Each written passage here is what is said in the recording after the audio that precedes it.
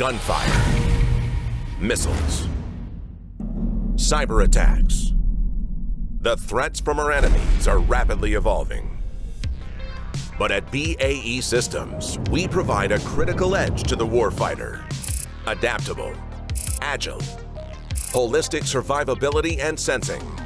Our survivability suite allows fusion of hardware and sensors, providing mission success in the future multi-domain battle space with a layered approach to survivability.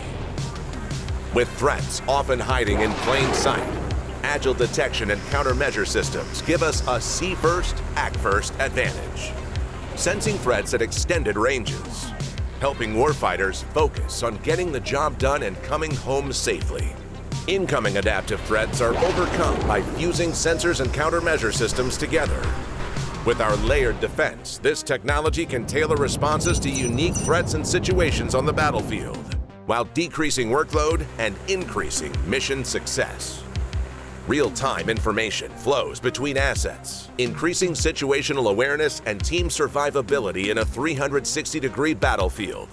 Current solutions lack design flexibility, while our modular systems integrate into most platforms while reducing size, weight, and power. Our open system architecture allows plug-and-play fusion of sensors and hardware to create powerful apps.